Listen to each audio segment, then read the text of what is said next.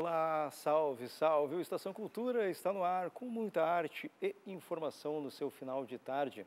Chegando até a tua TV, computador ou dispositivo móvel através do sinal digital da TVE do Rio Grande do Sul e simultaneamente pelo nosso site, tve.com.br.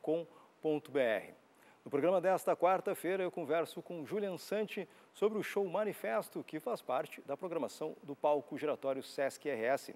Também vamos falar sobre literatura. A gente recebe aqui no estúdio a Eliane Marques, que estreia como romancista com o livro Louças de Família.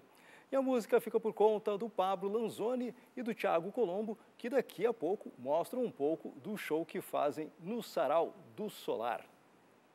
E a gente inicia falando sobre uma das atrações do palco giratório Sesc. O show Manifesto utiliza a música popular e a poesia marginal como forma de resistência. Eu converso agora via Skype com o cantor e compositor, também poeta, Julian Santi, que apresenta esse espetáculo no sábado aqui em Porto Alegre. Julian, seja bem-vindo aqui à Estação Cultura, mesmo que à distância. Satisfação poder falar contigo um pouquinho sobre esse show. Eu queria que tu falasse um pouco mais sobre esse show que mistura música, essa performance poética. Eu queria que tu falasse como vai ser esse show aqui em Porto Alegre, tudo bem?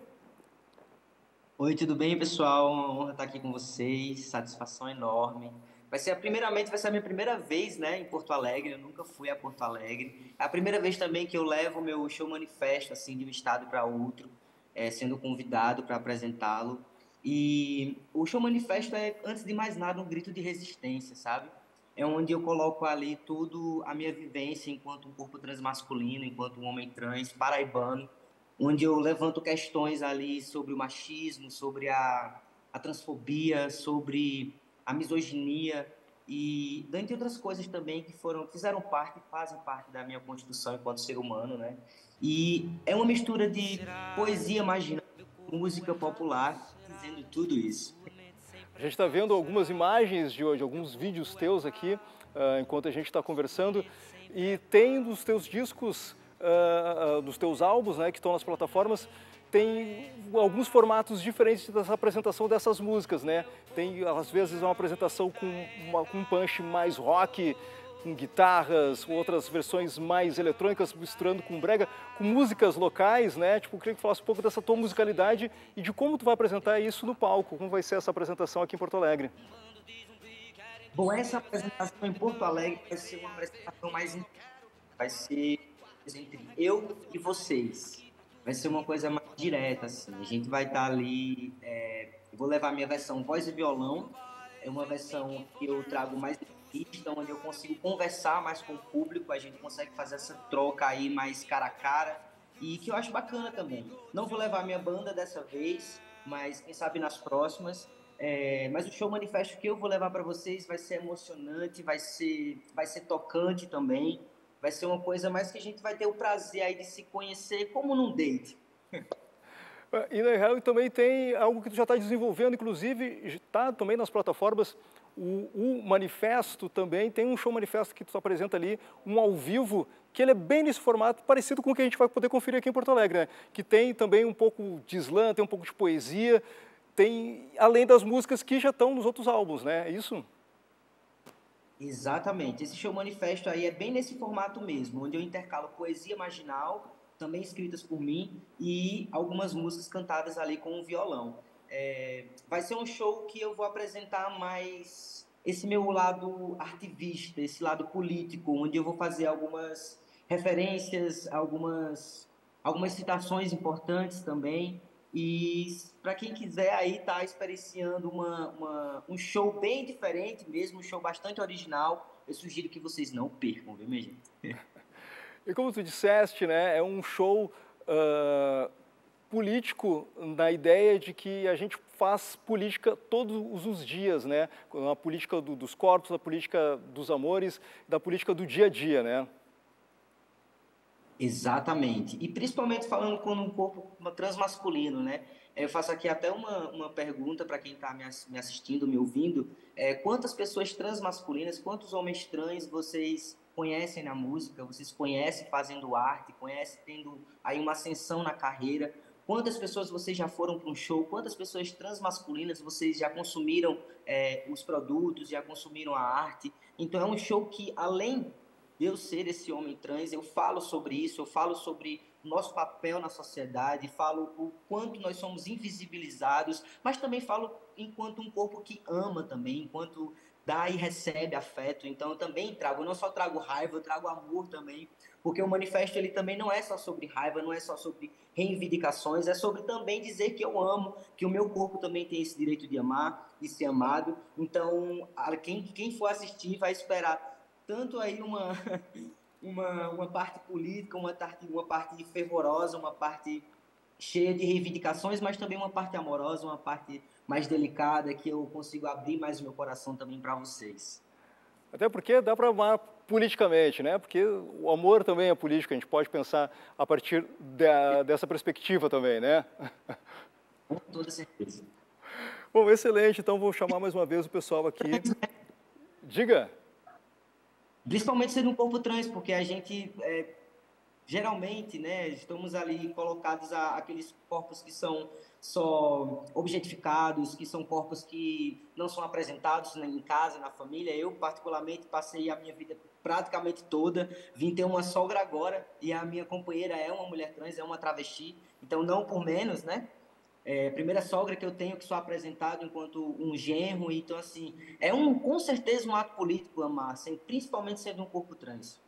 Sendo, né, que né, a Bianca Maricongo estará aqui também em Porto Alegre no domingo, conversou com a gente aqui, ah. a Bichart apresentando um show também, Traviarcado, no domingo também, outra grande programação, outro show imperdível que vai acontecer aqui no palco giratório Sesc. Então, no sábado, a partir das 19 horas, na sala Álvaro Moreira, Julian Sante, cantor, compositor, poeta, tudo isso acontecendo no palco giratório. Obrigado pela tua presença aí, uma, seja bem-vindo aqui em Porto Alegre Mas... quando chegar e um excelente, um excelente estado e um bom show aqui, certo?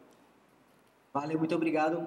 Beijo para vocês. Certo, e a gente segue o Estação Cultura com música aqui no nosso palco, com o Pablo Lanzoni e com o Tiago Colombo. E depois do intervalo eu converso com eles sobre o show Delírio Geral, que eles fazem no Solar dos Câmaras no dia 31, na próxima quarta-feira. A gente ouve música agora aqui no Estação Cultura.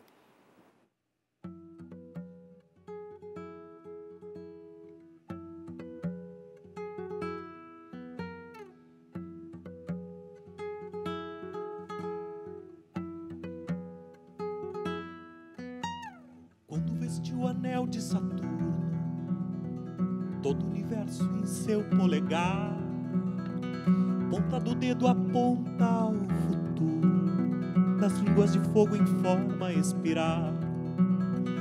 Tudo que vou contar, tal como aconteceu ali. Pode até debochar, pode até duvidar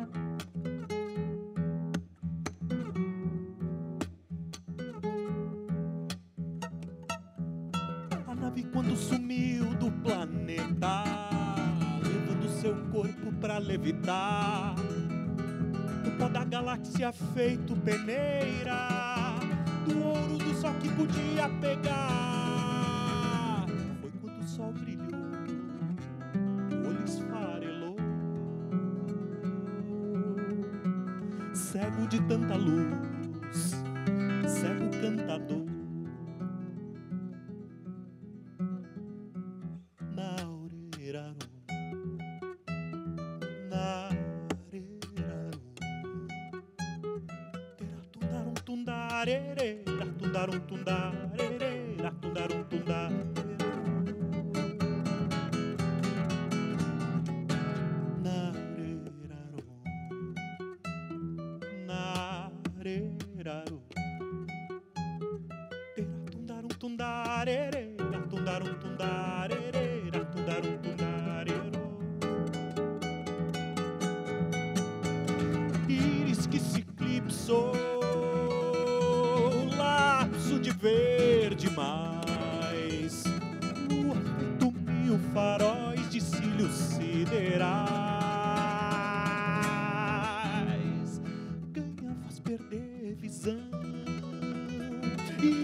o que um mestre faz. Verso do seu violão vem longe dos portais. Verso noturno vem de Saturno, verso diurno veio do além. E meu bem, quando o futuro segue no escuro e o tempo é duro, fecho os meus olhos. Pai.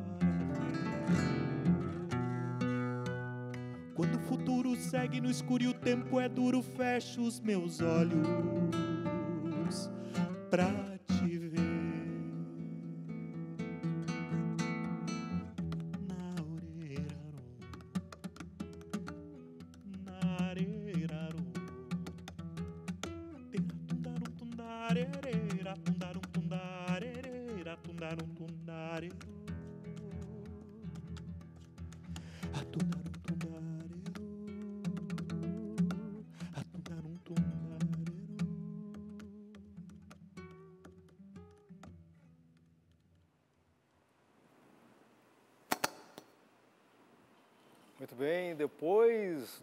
intervalo eu converso com o Pablo Lanzoni e com o Thiago Colombo sobre o show Delírio Geral e, óbvio, tem mais música.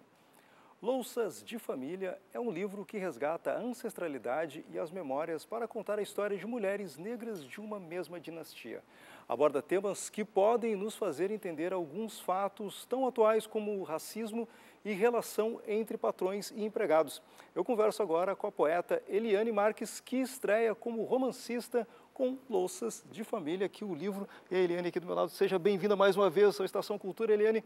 Eliane, vamos começar falando com um mote que puxa o fio condutor, o start desta história, tudo bem, Eliane? Tudo bem, Domício? É um grande prazer estar aqui contigo na Estação Cultura. E o fio que desenrola essa história é a morte, esse evento tão trágico para todas nós, para todos nós, a morte de Tia Luma, uma mulher, mulher negra, mãe, empregada doméstica, numa determinada casa de família. E eu uso esse termo de um modo irônico e crítico, porque para a narradora da história, que se chama Quandu, apenas a casa dos brancos, a casa dos ricos, é a casa de família. As nossas casas não são casas de família. Então, esse termo é utilizado durante todo o livro dessa forma. E ainda há uma criação da própria Quandu de um mito que fala da relação dessas mulheres negras com as casas de família. Eu gosto dessa posição da Quandu porque ela rompe, ela cria uma ruptura com essa questão sociológica de por que somos empregadas domésticas ainda hoje. Não que exista algo errado com isso. Não, a questão é uma predominância nessa única função e a degradação dessa função. Então, desde, a, desde esse ponto, a Quandu já vai conversando com as nossas ancestrais africanas, com as nossas ancestrais amefricanas, e vai pontuando essa história com as pedras que ela vai colhendo das margens de um rio.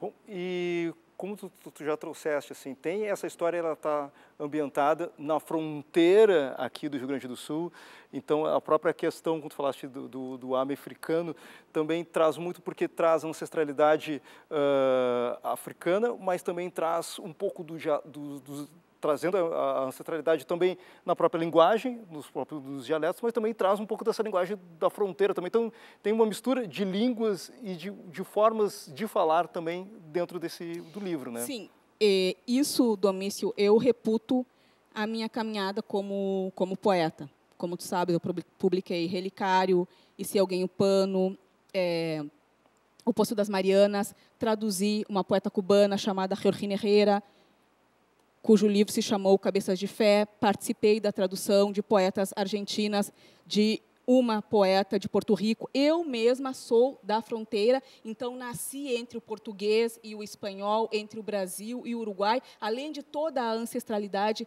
africana. Então, o livro trabalha, ele vai cavocando toda essa linguagem. Então, tem algo em Urubá, algo em Ibo, algo em portunhol, algo em espanhol, e tudo isso está na frase como se fosse algo da própria frase. Não é uma forçação a introdução desses termos aí. Faz parte da construção dessa personagem chamada Quando. E a Quando, ela fala com o, espectador, com, com o leitor, mais do que isso, ela tenta falar com a leitora, ela se dirige às leitoras, tem um, uma, uma dimensão feminina ou um, uh, uma atenção ao público feminino muito forte, não que seja excludente ao público masculino. Né? A Quandu, ela é fogo. Ela é barra pesada, porque essa direção que ela faz às mulheres, chamando-as de leitoras, jamais ela se refere ao leitor. Em primeiro lugar, ela está dizendo assim: olha, durante toda a minha vida eu li romances, li poemas em que o chamado, o convocado era o leitor. E eu nunca me senti excluída por não ser chamada como leitora. Mas agora eu quero que os leitores sejam incluídos, que se sintam incluídos, sendo chamado de leitoras. Por que, que tu não pode te incluir ali sendo chamada de leitora? Eu sei que tu leste umas páginas do livro, umas 20 páginas, e tu te sentiste excluído por ser chamado de leitora? Não.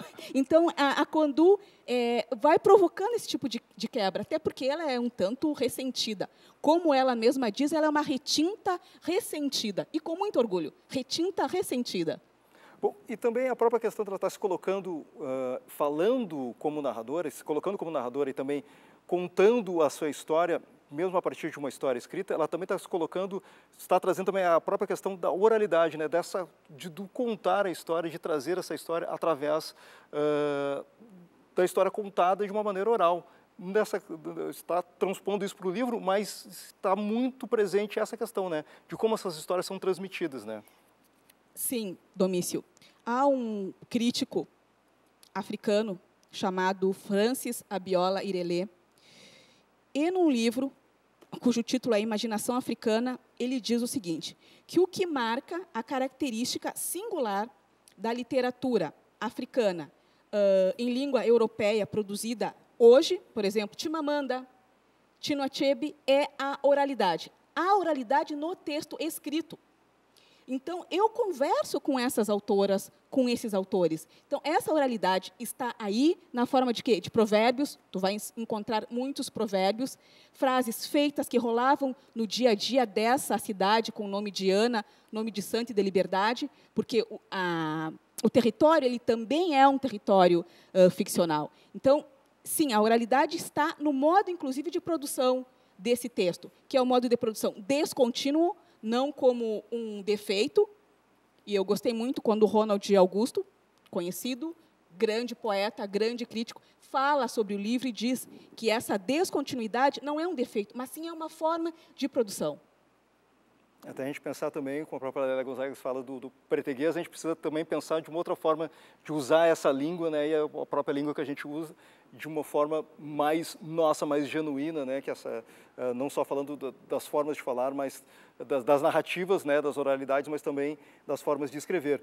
Então, Eliane Marques, com o livro Louças de Família, está aqui na minha mão, mas também o pessoal pode adquirir nas melhores casas do ramo, nas livrarias, nas pequenas livrarias de preferência né, para ajudar o pessoal, mas também indo direto lá no site da editora, do grupo autêntica.com.br, lá na editora Autêntica e adquirindo o livro.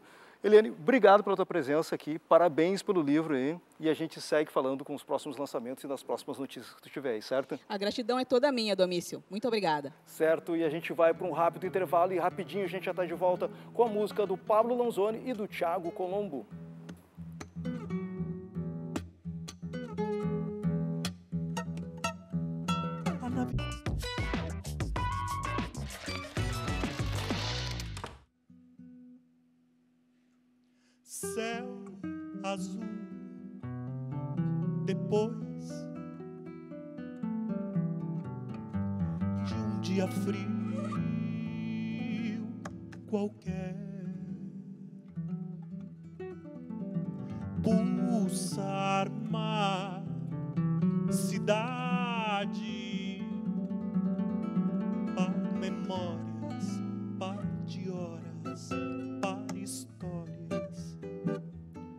Sem rumo em meu trânsito. Sinal fechado, não posso passar. Tenho um só par de mãos para acalmar a imensidão, correndo rio abaixo. Foi em teu ombro que me vi cair. Tuas esquinas fazem me achar. Já sou o sal da sobra, solos, palavra sol, alume a solidão. Erarurá, erarurá, era, era, erarurá, erarurá. Já faz um par, já faz um par, tenho só um par, já faz um par, já faz um par.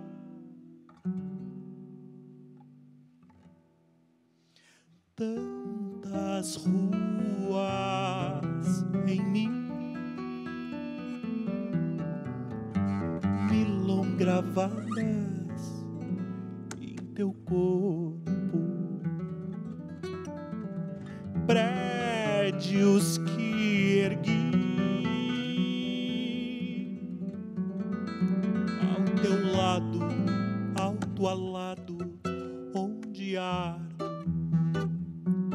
tomada em meu tráfego. Porta fechada, não posso passar. Quero novelo que não se desfaz, mil onda, minguada, lua abaixo. Foi em teu olvido que então parti. Enlouqueci, noblidade encontro. Abraço parte das nuvens, vem perto tua longitude. Já faz um par, já faz um par, tenho só um par. Já faz um par, já faz um par. Erarurá, erarurá, era, era já faz impar, já faz impar.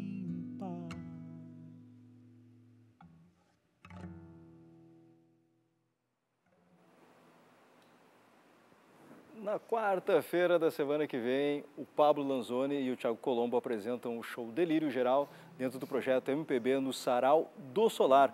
O espetáculo tem o nome do álbum lançado no ano passado pelo Pablo e pelo Thiago, um álbum belíssimo, cheio de participações, que está ganhando vários clipes, vários vídeos, mas que vai aos palcos agora. Isso, sejam bem-vindos aqui ao Estação Cultura. E como é que vai acontecer esse show? Como é que vocês vão levar parte desse álbum para o palco agora no Solar lá? Tudo bem? Tudo bem, Domício? Prazer falar contigo aqui. Felicidade de estar no Estação Cultura mais uma vez, junto com o Thiago. Muito. É a segunda vez que a gente vem aqui conversar sobre esse projeto e é uma alegria muito grande. Agora também em função desse show da próxima semana, lá no Sarau do Solar. A gente, desde que concebeu esse projeto, ah, nós tínhamos essa questão de como depois transportar aquilo que estava sendo produzido em estúdio, primeiramente através do, do violão do Tiago, que é um violão já cheio de sugestões, uh, para o palco, né? Como é que a gente faz, faria esse transporte e, e, assumimos em um determinado momento que seria bonito e seria genuíno com o próprio projeto a gente voltar à, à gênese de tudo isso que era o encontro do violão e da voz e isso seria um, um, um recorte expressivo daquilo que depois foi registrado no disco. Bom, o registro, né, maravilhoso, que tem lá várias participações, participações de muitos artistas, e dito isso, agregando não só vozes, mas instrumentos também múltiplos, mas como tu falaste, né, começou durante a pandemia com vocês dois pensando como funcionaria essa, uh, trabalhar em dupla. Então, vai lá para o solar essa ideia, voz e violão, músicas que estão nesse disco e mais outras coisas no repertório. Como é que funciona o repertório, Thiago? Então, é, são oito músicas, né, que tem esse álbum Delírio Geral. grandes participações, assim, a gente se orgulha muito, está um disco estelar, assim. A pandemia nos beneficiou nesse sentido, o pessoal estava com mais tempo. E ele nasceu assim, ele nasceu de, em casas diferentes, né? Assim, todo online, né? Uh, e, e, claro, e o violão ele foi esse alicerce, né? Ele foi o... Ele, ele é mais ou menos a, o prédio, né? E, e, tudo que veio agregando foi o que deu, né? Cor, enfim, detalhes, tudo mais. Uh, no momento que a gente pôde começar pela primeira vez, na verdade, a se apresentar ao vivo, né? O disco nasceu antes da gente tocar ao vivo. A gente hum, sentiu falta de fazer esse caminho de volta, né? A gente fez o caminho de volta. A gente tirou todos os, os adereços, né, que embelezavam aquele prédio e a gente voltou pro violão, mas não podia mais voltar igual, né? Porque as músicas ficaram com essa referência auditiva já dos outros instrumentos, das outras vozes. Então ela voltou para o violão já modificada de acordo com o que estava. Então ganhou outros adereços que imitam de alguma forma o que apareceu das participações, né? E uh, desde o ano passado a gente vem apresentando isso e, e agregando músicas, evidentemente, né? Porque o projeto do disco era um projeto, eu chamo de projeto moderno, né? Que é o que o Pablo sabe fazer. Eu sou do tempo que tinha 12, seis de cada lado né? Mas e a gente começou a agregar canções minhas também, uh, canções de uh, alguns clássicos, alguns poucos clássicos de gente que é referência para o disco, desde Dominguinhos Gil até uh, Jorge Drexler, até né? A gente coloca no meio algumas canções conhecidas também duas ou três. E tudo isso, então, nesse show, bom, o tempo está encerrando para a gente poder é, ouvir mais um pouquinho de música. Eu vou convidar as pessoas mais uma vez, mas o mais importante é as pessoas poderem conferir o show lá no Solar, né, no Solar dos Câmaras, no Solar José Leugói, no Solar dos Câmaras, na Sala José Leugói, no Solar dos Câmaras, na Duque de Caxias 968. E também o pessoal pode conferir pela, pelo site e também pela TV Assembleia, no mesmo momento que acontece o show lá no dia 31, a partir das 18h30. E a gente encerra com mais um pouquinho de música aqui no Estação Cultura com o Thiago o, com, com o Thiago Colombo e o, e o Pablo Lanzoni. E amanhã, quinta-feira, tem mais um pouquinho de Estação Cultura ao, ao vivo, não, inédito, aqui a partir das 6 horas da tarde. Por favor, Guris, um pouquinho mais de música para nós.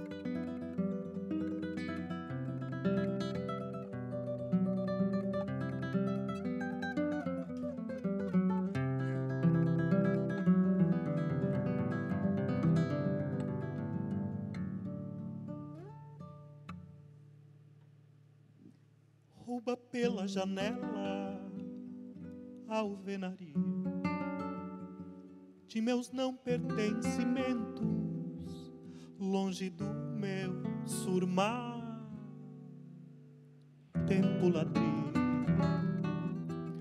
nascimenta futuros, inventa paz,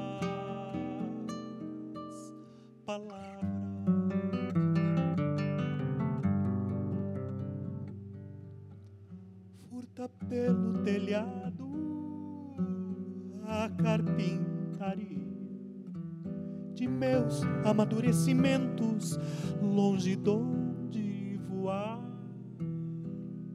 Vento partilha, nascimenta passados, insensatez, amarra